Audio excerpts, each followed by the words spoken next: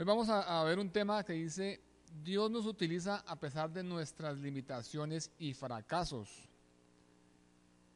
Dios nos utiliza a pesar de nuestras situaciones y fracasos. Vamos a estudiar, eh, vamos a estar viendo la historia eh, de la vida de Gedeón. Gedeón tiene muchas enseñanzas, eh, enseñanzas importantes, y una de ellas es que nos permite ver cómo Dios nos mira a nosotros, que Dios no solamente nos mira en el estado en que nos encontramos ahora nosotros, sino que Dios mira nuestro potencial. El Señor no te mira a ti ahí sentado, aburrido, triste, deprimido, fracasado, no, el Señor mira es nuestro potencial. Él no mira solamente nuestro, nuestro estado actual, el Señor mira el producto terminado, el Señor mira el producto final, el cual Él va a elaborar. ¿Por qué? Porque nuestra situación actual, donde nos encontramos ahorita, la situación que estamos ahorita en este momento, no determina nuestra situación final, y mucho menos si está puesta en la mano de Dios. Muchas personas hoy se sienten deprimidas, defraudadas, fracasadas, tristes, aburridas, que no tienen esperanza, que no tienen nada en la vida. Pero esa situación actual no determina su situación final. El Señor puede cambiar y va a cambiar la vida en un segundo. Y la situación actual va a cambiar si colocamos nuestra situación en la mano de Dios. Ahí es donde está el, el detalle. Déjenme contarles de la vida de Gedeón. Esta historia de Gedeón se encuentra en el libro de Jueces capítulo 6. Gedeón era un personaje que, que, Dios eligió para qué? Para conducir a su pueblo Israel. Eh, dice la palabra de Dios en Jueces 6.1, dice que los hijos de Israel hicieron lo malo ante los ojos de Jehová y Dios hizo que fueran derrotados por los madianitas por siete años. Sin duda alguna, todos sabemos de sobra que la desobediencia a Dios siempre nos va a meter a nosotros en graves problemas. Todos sabemos que cuando nosotros desobedecemos al Señor vamos a pagar consecuencias y vamos a estar siempre metidos en problemas. Pero, ¿por qué? Porque estamos haciendo lo contrario que dice la palabra de Dios. La palabra dice que nosotros debemos de amar a Dios, glorificar a Dios y seguir su palabra, vivir su palabra, lo que dice la palabra. Entonces, cuando nosotros desobedecemos lo que la palabra de Dios dice, téngalo por seguro, hermanos, que vamos a estar metidos en problemas y problemas graves. El pueblo de Israel era experto en desobediencia. El pueblo de Israel, al igual que nosotros hoy en día, el pueblo de Israel tenía un máster en desobediencia. Todos tenemos máster y degree en desobediencia. Porque si vamos a ver la realidad de hoy en día, no cambia nada con la realidad de hace unos años. Todos somos desobedientes eh, a la hora de estar con Dios. Ahora, Bien, en la época de los jueces sucedía algo que hoy en día lo, llamamos el círculo vicioso del pueblo de Dios. ¿Qué es ese círculo vicioso del pueblo de Dios? El círculo vicioso del pueblo de Dios se trata en que el pueblo se alejaba de Dios. El pueblo se alejaba de Dios y pasaban a ser esclavos, pasaban a ser cautivos de sus enemigos. Luego se arrepentían, clamaban a Dios, invocaban a Dios. Dios los liberaba y con el tiempo nuevamente volvían otra vez a caer al ciclo vicioso de alejarse del Señor, caer esclavos, se arrepentían, clamaban a Dios, el Señor los liberaba y vuelve y juega. Y así estamos hoy en día nosotros, no ha cambiado la situación ninguna. Nuestra vida prácticamente es una vida cíclica que está dando vueltas y vueltas y vueltas y vueltas. Estamos en un problema difícil, tan difícil, estamos en una enfermedad, una situación grave clamamos a Dios, Señor, ayúdame, por favor, yo prometo, yo hago, yo soy. Y el Señor en su infinita misericordia nos levanta, nos rescata, nos sana, nos libera, nos liberta, nos coloca en un lugar de privilegio. Cuando nosotros nos estamos ya cómodos, estamos ya viendo que la marea está suave, empezamos a olvidarnos de Dios. Y volvemos otra vez al pecado, volvemos otra vez al vicio, volvemos a quedar otra vez eh, esclavos y volvemos nuevamente a quedar cautivos por eso. Entonces, eh, eh, en este episodio, Dios había entregado a Israel en las manos de los madianitas. El Señor había entregado a todo el pueblo de los madianitas. ¿Por qué? Porque ellos habían hecho lo malo ante los ojos de Dios. El pueblo había decidido hacer lo malo ante los ojos de Dios. Pero Dios siempre, movido a misericordia, porque el Dios que nosotros tenemos es un Dios misericordioso que siempre está movido a misericordia. Y Él al ver la aflicción de su pueblo ¿qué pasó? Él lo levantó, levantó un juez dentro de ellos, un juez que sería el guía, el que los iba a liberar, el que los iba a libertar, el que los iba a sacar de la esclavitud en que estaba el pueblo y los iba a poner en libertad. En ese periodo, los madianitas venían contra el pueblo de Israel, destruían todo lo que ellos tenían, incluyendo sus rebaños de vacas, de, ganado, eh, eh, las tiendas, todo lo que ellos tenían, los madianitas subían a Israel y acababan con todo. Entonces los israelitas tuvieron miedo y temor. ¿Y qué pasó? Que empezaron a huir, a esconderse, se escondieron en guaridas, en, cuevas, en montañas. ¿Por qué? Porque ellos estaban pagando las consecuencias de la desobediencia al Señor. ¿Y la desobediencia qué era? Temor de que el enemigo los atacaba, de que el enemigo venía a quitarles. Ellos tenían que esconderse, salieron corriendo. Entonces los llevó a esconderse del enemigo. Además, cuando los israelitas estaban, eh, eh, cuando estaban en su cosecha, subían todos los enemigos y ¿qué hacían? Les robaban todo lo que ellos tenían, les robaban todo, arruinaban las cosechas, se llevaban toda la tierra, acababan con lo que tenían. No les dejaban de comer absolutamente nada, o sea, ni ovejas, ni toros, ni asnos, porque venían cargadas con todo lo que encontraban, ellos arrasaban. Venían como langostas, dice la palabra de Dios, porque eran millares. Eran ejércitos grandes, eran ejércitos numerosos y venían como langostas y acababan con todo lo, que estaba eh, el pueblo israelita, el pueblo sembrando y cosechando para ellos. Entonces, de este modo Israel era empobrecido. Cada vez que medio tenían algo de, cosecha, subían y ¡brum! y arrasaban. El pueblo Israel estaba totalmente empobrecido a causa de los mañanitas. Entonces, dice la palabra de Dios en el versículo 7 que entonces los hijos de Israel clamaron a Jehová y sucedió que cuando los hijos de Israel clamaron a Jehová a causa de las meditas, Jehová los escuchó. Cuando los hijos de Israel clamaron a Jehová a causa de las meditas, Jehová los escuchó. Jehová estaba con su oído atento, esperando que el pueblo llamara a él. Versículo del 8 al 10, dice la palabra de Dios. Entonces Dios les envió un profeta para decirles, así ha dicho Jehová, Dios de Israel yo os hice subir de Egipto, yo os saqué de la casa de esclavitud, os libré de la mano del, egipcio y de la mano de todos los que lo oprimían, a los cuales eché delante de vosotros, y os di su tierra. Y os dije, yo soy Jehová vuestro Dios, no veneréis a los dioses de los amorreos en cuya tierra habitas. Pero ¿qué pasó?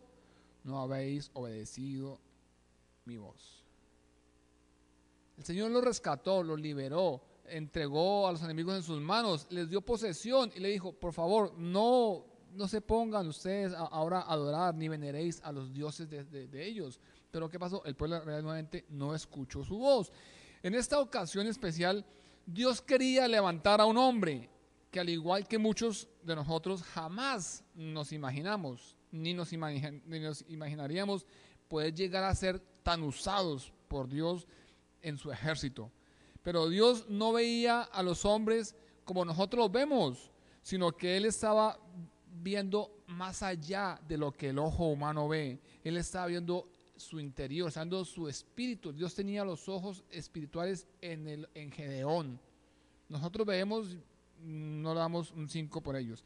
El versículo 11 dice, entonces vino el ángel de Jehová y se sentó debajo de la encina de esta que está en, Ofra, la cual era de, de Joás, Abieserita. Gedeón, su hijo, estaba sacudiendo el trigo en el lagar para esconderlos de los madianitas. Si nosotros miramos bien este versículo que dice que Gedeón estaba haciendo, eh, estaba, él estaba sacudiendo el trigo para que no lo robaran los madianitas. Entonces Gedeón vemos, podemos darnos cuenta que él tenía una actitud de temor. Gedeón estaba escondido, Gedeón estaba temiendo al enemigo y dice que, él estaba en el lagar sacudiendo el trigo, o sea, estaba en un lugar que no sacude el trigo porque el lagar es donde se, donde se procesa la uva. Él tiene que estar en la era donde se sacude el trigo, pero por el temor del enemigo que venía a atacar a robarlo, él se escondió en, en, el, lagar y empezó a mover el trigo. Tenía una actitud de temor, él estaba escondido, estaba realizando un trabajo eh, escondidas para evitar que el enemigo viniera a, robarle lo que tenía. En pocas palabras, estaba en una actitud de acomodo. Él estaba acomodado a la opresión del enemigo. Él estaba ahí acostumbrado. Él sabía que estaba ahí y que cuando venía el, enemigo él tenía que esconderse y luego salir. O sea, estaba acomodado a esa situación. Muchas veces, al igual que, Geón, nosotros estamos tan acomodados a nuestra situación actual, nosotros estamos tan acomodados a nuestro problema, a nuestra enfermedad, a nuestra deuda, a nuestra situación. Estamos tan acomodados que solamente estamos esperando que los madianitas o que nuestros enemigos vengan y nos roben nuestra bendición, que vengan y nos roben nuestros hijos, nuestra familia, nuestro hogar, nuestro negocio, nuestra salud, nuestra prosperidad. Estamos tan acomodados y esperando al enemigo que venga que permitimos que cuando el enemigo suba, arrase con lo que encuentre y nos roba todo. Pero aquel día que estaba Gedeón sacudiendo el trigo en el lagar, él estaba escondido para que los maritas no fueran a robar nada. Pero ese día le cambió la vida a Gedeón y al pueblo Israel por completo. ¿Por qué? Porque un ángel del Señor se le apareció y le dijo una cosa asombrosa. Se le apareció un ángel de Dios y le dijo, le dijo, el Señor está contigo, varón esforzado y valiente. Versículo 12. Varón esforzado y valiente, le dijo. Este versículo 12 es clave. ¿Por qué? Porque aquí este versículo 12 nos está enseñando que Dios no está mirando a Gedeón, un cobarde, un escondido, un temeroso, un miedoso, un asustado. Pareciera chistoso, ¿verdad? Y a Gedeón le pareció chistoso. En el momento en que estaba asustado, escondido y ahí preocupado que, van a venir, se le aparece el ángel y le dice, hombre forzado y valiente. Si Gedeón, que estaba escondido, era hombre y forzado y valiente, ¿qué serían los otros que se fueron para las montañas a esconderse? Uno dice, pero el Señor tiene sentido del humor.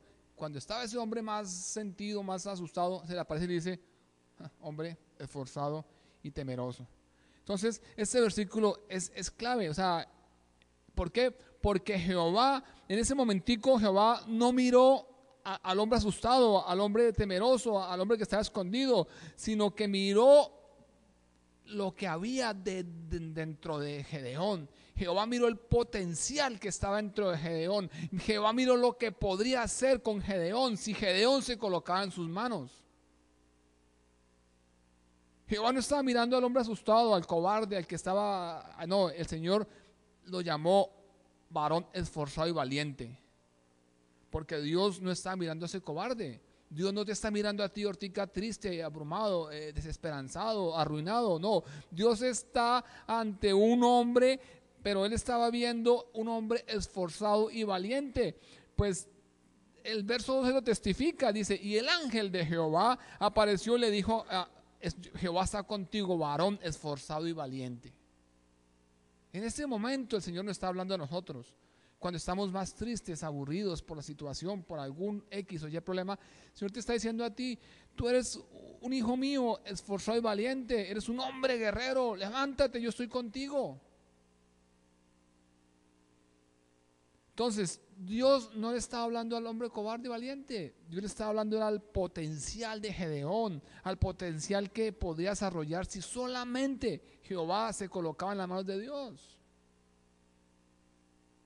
Así es que Jehová no solamente ve nuestra situación actual, ni lo que podemos ser, sino Él ve lo que nosotros llegamos a hacer en sus manos. No a nuestra fuerza, sino en sus manos. Yo pensaba algo cuando estaba preparando ese mensaje. Yo pensaba que si nosotros tan solamente nos miráramos los unos a los otros de la manera en que Dios nos ve, y si no fuéramos tan duros, tan rudos para desechar y para descartar a, los demás por sus defectos y por sus eh, fracasos, yo les aseguro que podríamos ver la gloria de Dios en nuestra vida y en la vida de los demás. Porque es que nosotros somos tan duros, tan, tan, tan reacios que por cualquier falla que tenga la persona, nosotros ya la descartamos. No, ella no sirve, él no sirve. Estamos viendo es el imperfecto humano pero no estamos viendo el potencial que hay en ese hombre y ese potencial le pertenece a Dios.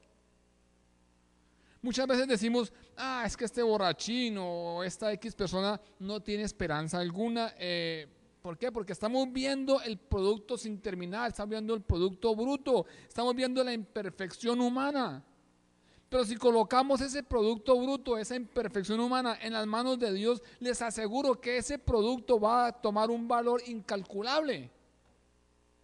Porque Dios va a trabajar en él, Dios va a sacar lo mejor de él, Dios va a ser un, hombre esforzado y valiente. Qué hermoso saber que a pesar de nuestros errores, de nuestros eh, temores, de nuestros acomodados, de nuestras debilidades, es hermoso saber que Dios no nos mira como nosotros somos, sino como vamos a llegar a ser cuando nos colocamos en sus manos. Eso, es hermoso. Yo decía, Señor, yo decía, como decía Chucho, wow. O sea, yo estoy un hombre imperfecto, temeroso, asustado. Muchas veces no tomo decisiones porque me da susto. y ver que el Señor toma esa debilidad, esa imperfección, ve que el Señor ve mi cobardía y me levanta y me coloca ¿Por qué? Porque Él está viendo lo que hay en mí, que Él me ha dotado, que Él ha colocado en cada uno de nosotros un potencial para que lo desarrollemos. Yo te aseguro que por la mente de Geón jamás pasó la idea que él podría llegar a ser el guía que liberaría a Israel. Mucho menos pensar que iba a ser un juez que iba a formar parte de los nombres de los, de los, de los hombres de Dios porque Geón ahorita en la palabra de Dios tiene un nombre y un nombre que se lo ha ganado. ¿Cuántas veces nosotros escuchamos decir a, las esposas, no, es que yo no creo que mi esposo salga de esa situación, yo no creo, él se encuentra ya en lo último, él es un fracasado, eh, o algunos padres también, los hemos escuchado decir, vistosamente, mi hijo va a ser siempre un don nadie, mi, hijo siempre es un don nadie, y, se resignan, se resignan eh, y se acomodan a la situación como ellos la ven en vez de tomar una actitud diferente, en vez de clamar a Dios, en vez de colocarle esa vida al Señor, creer, proclamar, confesar y ya no ver más a su esposo, a su esposa, a su hijo, a su hija, eh, verlo destruido, acabado, verlo derrotado, sino de de verlo en el nombre de Jesús, decir yo veo a mi esposo, a mi esposa, a mi hija, a mi hijo, lo veo buscando de Dios, lo veo profesional, lo veo rezarse en toda la vida, lo veo libre de, de vicios, lo veo como una persona que le sirve a Dios y a la sociedad. Y les aseguro que la situación va a cambiar. Porque no podemos seguir viendo a nuestro, vecino, a nuestro amigo, a nuestro esposo, verlo fracasado, verlo derrotado. No, vamos a ver el producto que Dios puede hacer de, esa imperfección. No nos sigamos nosotros o no sigamos viendo a, nuestros, con nuestros ojos humanos. Nuestros ojos humanos solamente ven lástima, desprecio, derrota. Veamos con los ojos de Dios. Veamos a los demás. Veamos a nosotros mismos con los ojos de Dios. Mirémonos como productos terminados. Veamos lo que Dios puede hacer con nosotros, con mi hermano, con mi vecino, con mi amigo. Veamos el producto final. No lo desechemos simplemente porque cometió un error y fracasó. No, ese hombre está en proceso y si se coloca en la mano de Dios, les aseguro que ese, ese hombre va a tener un valor incalculable, va a ser un diamante tallado a mis maravillas.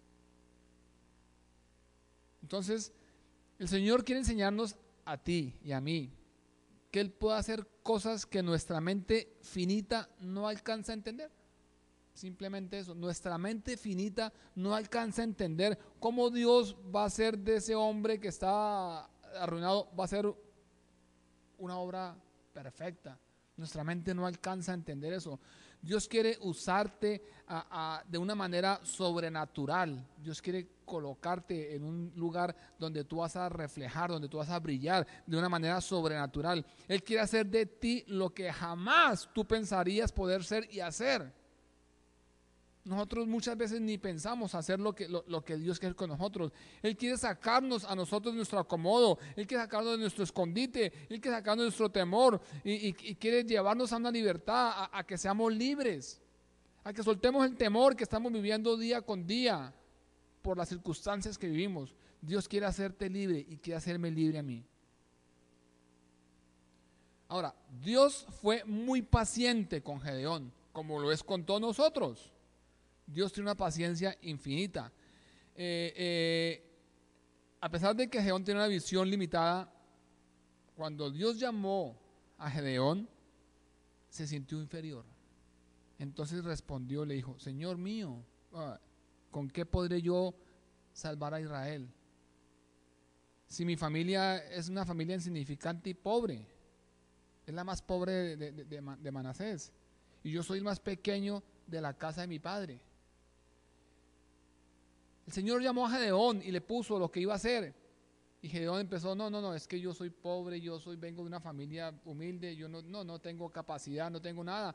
Y el Señor le contestó y le dijo, pero Jehová le dijo, ciertamente yo estaré contigo y tú derrotarás a los maditas como a un solo hombre. Jueces 6, 15 16.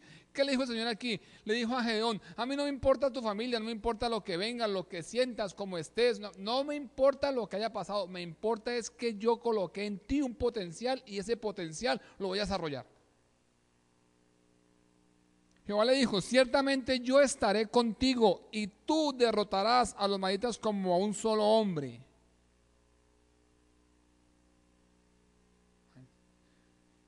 Una cosa es cierta, Dios jamás te llama si no es porque puede ser un arma, si no es porque tú puedes ser un arma poderosa en sus manos. El Señor no te va a colocar a ti algo que tú no puedes. Cuando Dios te llama es porque Él sabe lo que tú puedes hacer.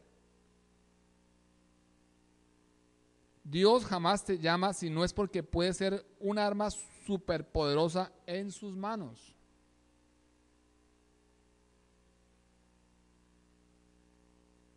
Cuando Dios, cuando el Espíritu de Dios consigue un lugar en nosotros, nosotros podemos estar preparados y seguros que vamos a hacer grandes cosas.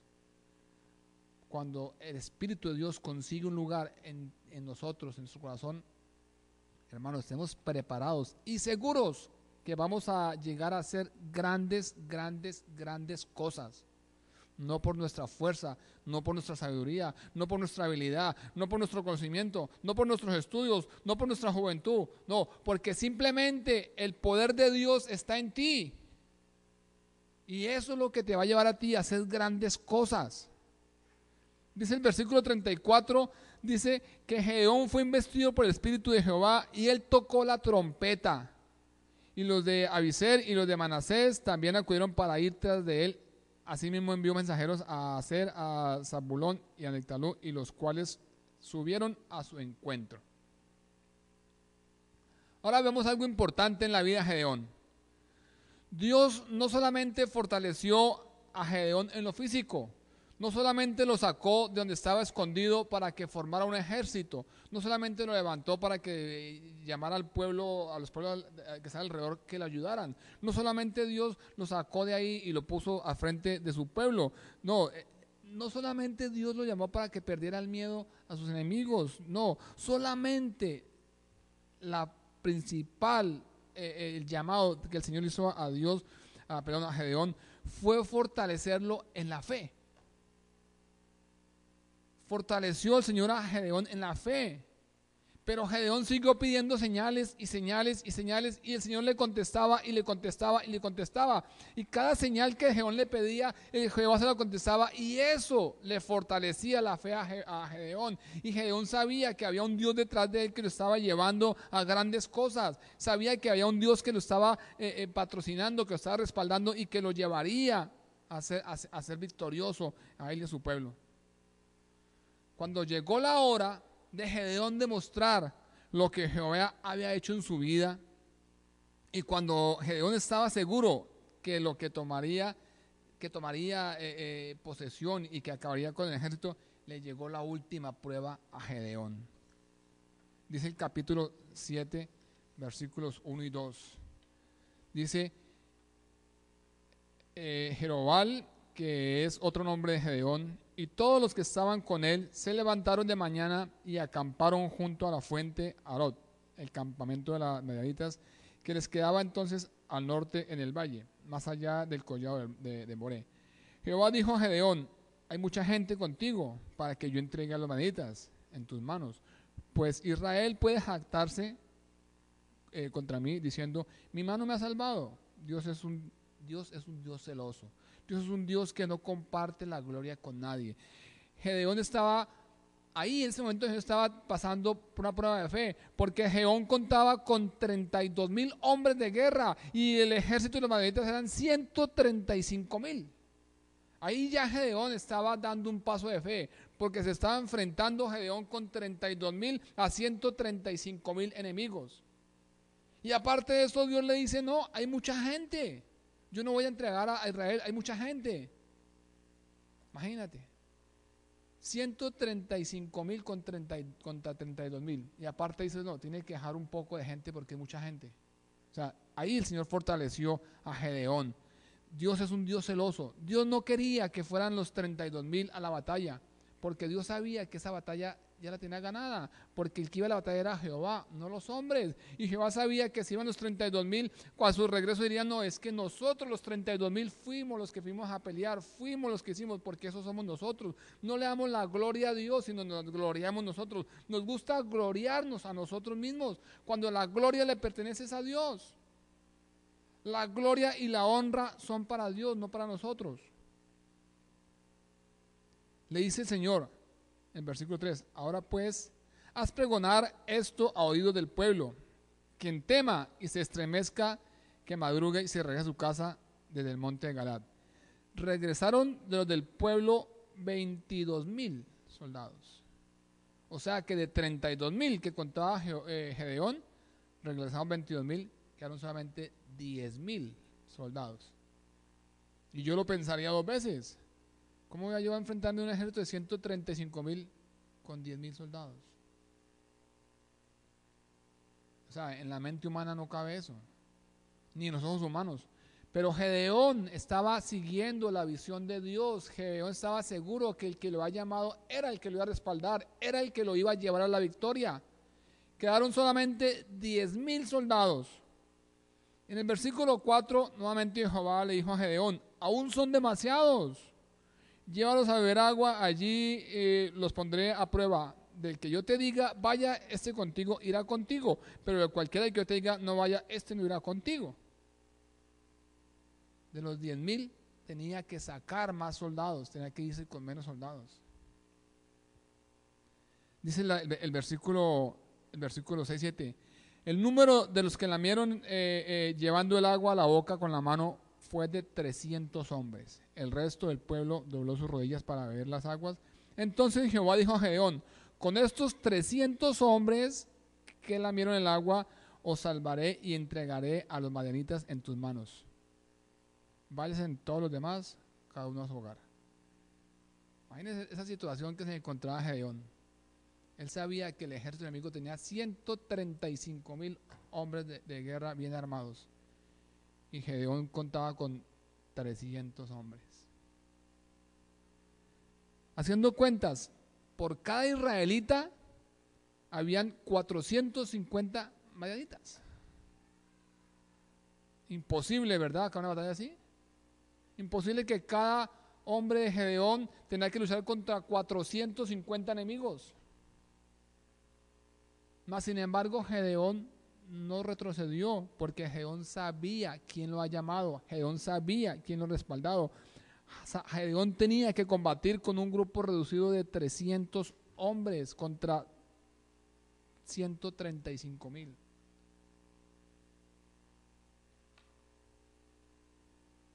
Pero ¿por qué hizo Jehová esto? Nos preguntamos, ¿por qué? Si en el ojo humano Jehová en vez de haberle dado 32 mil le ha dado 300 mil hombres. No, ¿Por qué? Porque Jehová no quería que se atribuyeran el, triunfo a los hombres, sino quería la gloria solamente para Él. No quería que los hombres dijeran nosotros hicimos la guerra, la batalla. No, la gloria es para Dios. Mis amados hermanos, es hora que nosotros entendamos que si Dios te ha llamado a ti o te está llamando es porque va a hacer algo en tu vida. Si Dios te ha llamado, te está inquietando, si Dios te está moviendo es porque Dios va a hacer algo grande en tu vida. Posiblemente, posiblemente tú ni yo eh, lo entendamos, porque muchas veces nosotros pensamos como de Geón, tenemos nuestras capacidades limitadas, no tenemos tiempo, vengo de una familia pobre, eh, yo no hablo inglés, yo no tengo enseñanzas, pero el Dios que te llamó es quien te va a capacitar. Dios no llama a los capacitados. Dios capacita a los llamados. Cuando Dios llamó a Gedeón, Gedeón no era un guerrero, no era un líder, no era un juez. Gedeón era un hombre temeroso que estaba escondido. Entonces cuando Dios te llama es porque Dios te va a capacitar. Y ese Dios que te va a capacitar es el Dios que te va a respaldar. Es el Dios que te va a llevar a la victoria. Es el Dios que tú has estado clamando, que tú has estado esperando. ¿Para qué? Para que venga la victoria en tu vida. Ese Dios es el que te va a cuidar, que te va a llevar de victoria en victoria. Ese es el Dios que estamos hablando hoy. Ese es el Dios que, le servimos nosotros. Yo deseo terminar con un versículo que está en Zacarías 4:6. Dice la palabra de Dios que no es con ejército ni con fuerza, sino con el Espíritu de Dios.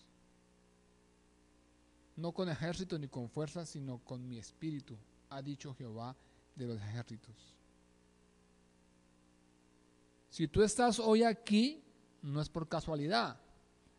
No podemos decir, ay, si tal hubiera ido este mensaje, si tal, no, tú estás aquí y aquí están los que Dios querían que escucharan este mensaje. Muchas veces decimos, ay, pero si fulanito hubiera escuchado, no, el mensaje era para los que estás aquí. Si tú estás aquí hoy, no es por casualidad, es porque el Señor quería que tú escucharas este mensaje. Y si lo crees, Dios va a levantar bandera en tu vida. Si lo crees, Dios va a traer libertad a tu vida. Si lo crees, Dios va a ser victoriosa a tu vida. Va a llegar a tu vida la victoria que has estado esperando. ¿Qué tenemos que hacer nosotros? ¿Qué hizo Gedeón? Creyó siguió caminando, caminando, caminando. Aunque él veía 450 hombres para uno, Gedeón no le importó. Gedeón siguió caminando porque sabía que Gedeón y Dios era mayoría. Nosotros debemos de tener en cuenta que tú y Dios son mayoría. Yo y Dios son mayoría. Si Dios está conmigo, ¿quién contra mí?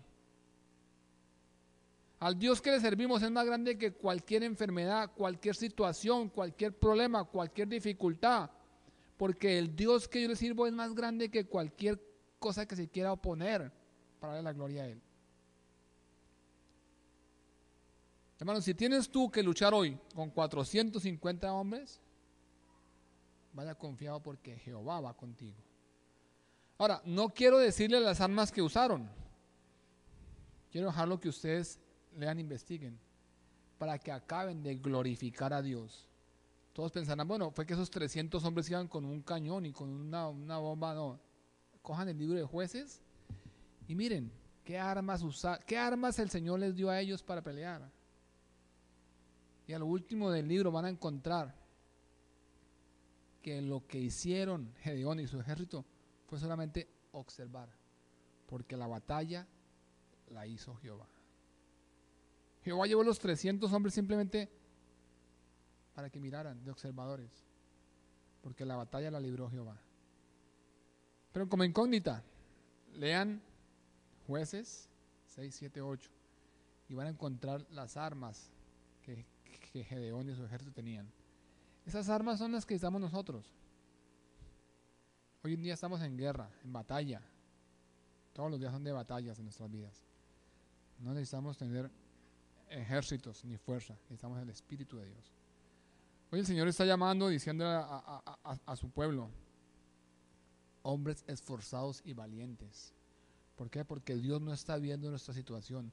Dios no está viendo tu calamidad, tu necesidad. Dios no está viendo tu desesperanza. Dios no está viendo que estás arruinado, que estás triste, acongojado, que estás ya desesperanzado. Dios está viendo el potencial que hay en ti. Y si tú le crees a Dios y te colocas en la mano de Dios, ese, ese hombre ahí caído va a ser un instrumento valioso en la mano de Dios. Y vamos a formar parte del libro de los hombres de Dios. Nosotros podemos ser más que privilegiados porque entre 6 mil millones de personas estamos escogidos, estamos en la lista. Aproximadamente hay 6 mil millones de personas en el mundo. Y dentro de esos 6 mil millones estás tú, estás tú, estás tú, porque Dios ha puesto los ojos en ti. Creámosle a Dios, hermanos. Caminemos con Dios. Y acordémonos que nuestra guerra no es con espada ni ejército, sino con el Santo Espíritu de Dios. Oremos, hermanos. Bendito Señor Dios y Padre bueno. Gracias, Señor, por tu palabra, Dios de los cielos, porque ella, Señor, nos refresca, Señor Padre. Ella nos levanta, nos restaura, Señor. Gracias, Dios, porque en tu infinita misericordia, Señor, tú has colocado tus ojos en nosotros, Señor, para bien, Señor. Gracias, Dios, por la libertad, Señor, por traernos a nuestra vida, Señor, e-, ese consuelo, Señor, la salvación, Dios. Gracias, Padre, porque sabemos que en ti, Señor, tenemos todo. En ti todo lo somos, Señor. En ti todo lo podemos, Señor. Padre, yo te pido en el nombre de Jesús que seas tú, Señor, en la vida, en la mente, en los corazones, Señor, de nosotros y de todos nuestros hermanos que andan por el mundo, Señor, sin una esperanza, Señor. Dios coloca, Señor, en nosotros el deseo, Señor, y, la voluntad, Señor, de compartir el mensaje, Señor. Padre, que no veamos más a las personas, Señor, como objetos desechables, Señor, sino que veamos a las personas como materia prima, Señor, que puestas en tus manos, Señor, son valiosas, Señor, de, incalculable valor, Señor. Padre, te damos gracias por todo, bendecimos tu nombre, Dios, y esta palabra, Señor, la hemos estudiado, Señor, en el nombre del Padre, del Hijo, del Espíritu Santo. Amén.